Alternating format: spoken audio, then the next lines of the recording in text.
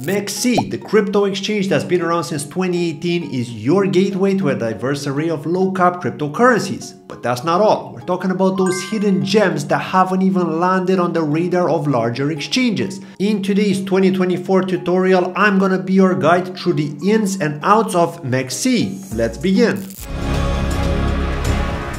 Now the first thing you need to do before you begin is to register an account and you can do that by simply scanning my QR code or using the registration link provided in both the pinned comment of this video or the description. At the moment I become a MEXC affiliate and as part of this I'm offering you the chance to win $100 in USDT by simply registering using my ref code, placing a futures trade and following me on X. It's that simple. Okay, so after we register, the next thing that we need to do is to deposit. Okay, we go to wallets and then we click on deposit. On the deposit page, we've got different cryptocurrencies available. USDT Tether is one of the options here that shows up for us by default. What we then need to do is we need to select a network. So we've got different options from Tron, Binance Smart Chain, Ethereum, Algorand, Matic, Polygon.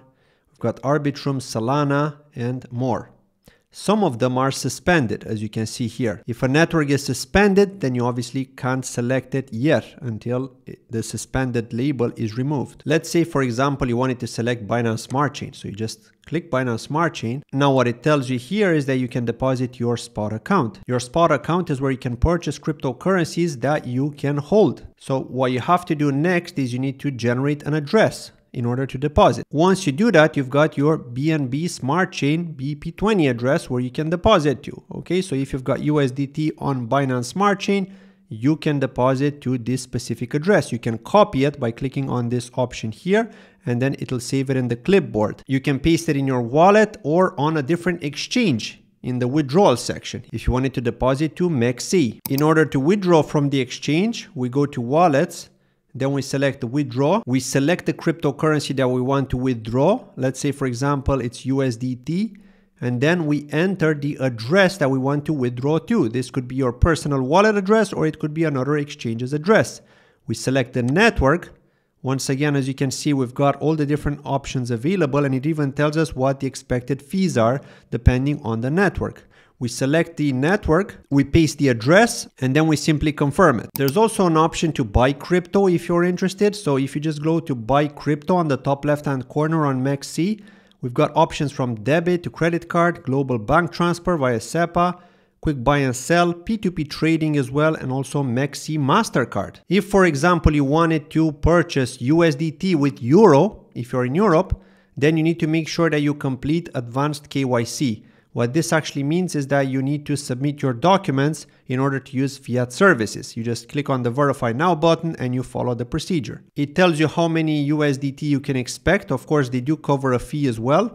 And then you add your bank card here. So it is pretty simple. Then you just click buy now and you're done. There are also options like bank transfer, express, P2P, and third party. Once you've got USDT on your account, or maybe Ethereum, or maybe Bitcoin, you simply go to spot and you select the spot option. In the spot option, you can see the different markets that are available. Okay, here we've got a favorites tab, a USDT tab, USDC tab. These are all stable coins. Then you've got Ethereum, Bitcoin, and TUSD, which is another stable coin. Let's say, for example, you wanted to search for a specific cryptocurrency on the USDT pair. Let's say, for example, DOT. You type DOT, you choose DOT USDT, and here it shows you the Polkadot chart. The green section shows us the buy orders, and the red section shows us the sell orders. We're on the limit order tab here, as we can see. So if, for example, I wanted to purchase DOT at the highest buy order price of 747, I would just select 747, and then I could drag the cursor here which would tell me how much of my USDT do I want to buy DOT worth of. So if I want to buy it worth 100% of my USDT, which is 472.5 in this case, then it tells me that I can get 0.63 DOT. I just click on buy DOT here and it would add the order in the open order section until it gets filled. The same if I want to sell. If I want to sell DOT, I can just select the price at the lowest sell order from the book here and then I would just enter the amount that I want to sell. I would click on sell dot and then you would add the open order until it gets filled.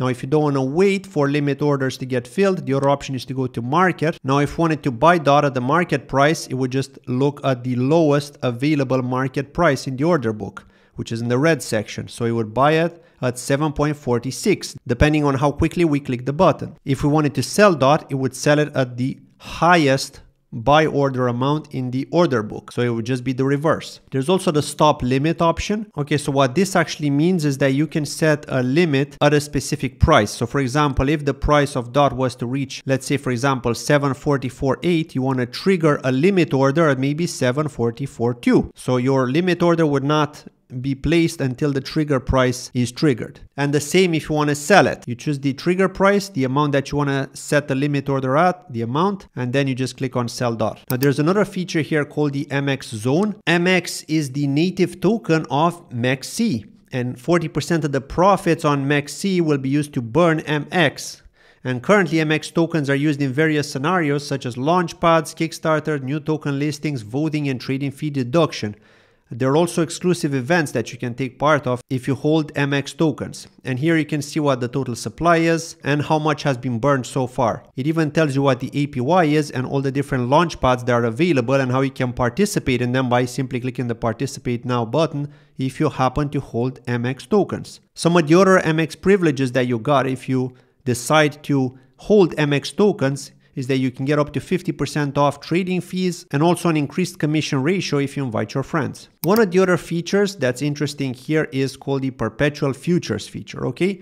Here we've got two different options, the USDT-M or the Coin-M. Most people decide to use the USDT perpetual because it is simpler, because it is pegged to the US dollar.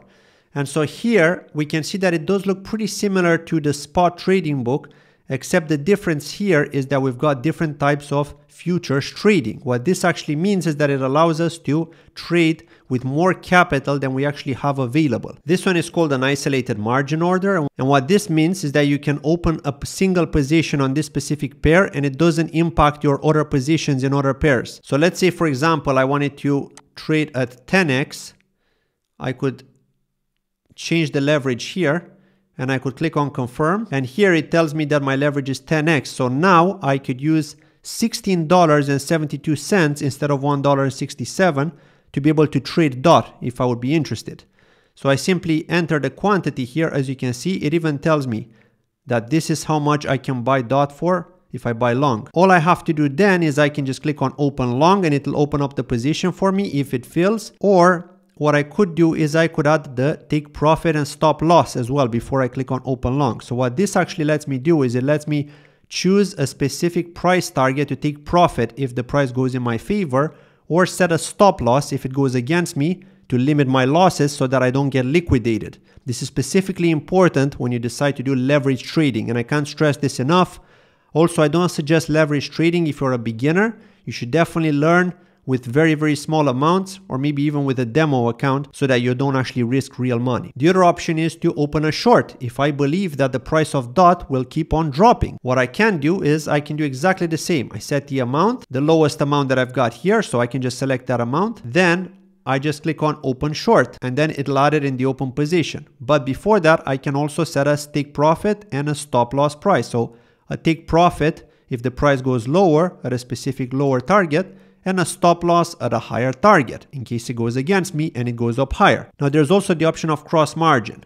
What cross margin actually does is that it shares the margin across all the different positions. In the event of liquidation, traders might lose all the margin and positions settled using this asset. So what that basically means is that open up different positions for different pairs. And then if I'm in profit with one of the positions, but I'm losing on the second position, then it would take some of that profit from the open position in order to cover for the loss in the other position if I'm about to be liquidated. So it is pretty interesting, but it's also risky because it can mean that it can close my other position. Copy trade is another interesting feature that is available here. So what MEXC copy trade is, is, is, it allows you to copy professional traders strategy to earn more. Now, if you're not a trader yourself, but you want to copy their strategy, there's a list of top traders here and you can see how profitable they've been or if there've been a lot of loss. And the majority of these are doing pretty well. You can see what the total PNL is.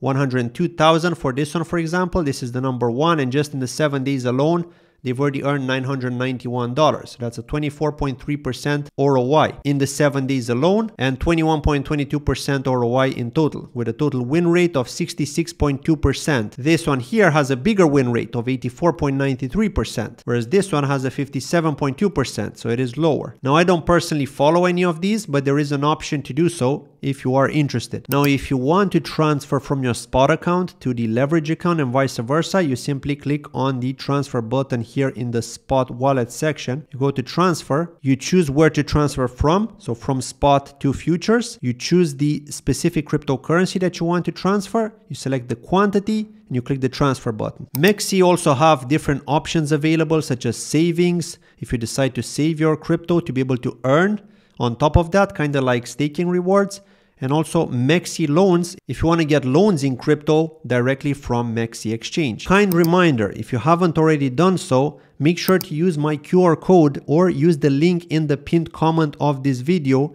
in order to register for a MEXC account and to possibly win a $100 USDT bonus for trading on futures. That was it from today's tutorial. I hope you found this informative and if you did, you know what to do. I'll catch you in the next one.